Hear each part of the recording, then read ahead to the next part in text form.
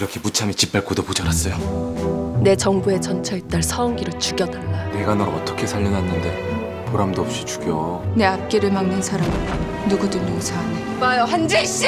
이렇게까지 안 해도 깨끗이 누나 잊어드릴 생각이었다고요 내가. 그만하자. 나도 이제 예전의 강마루가 아닌데.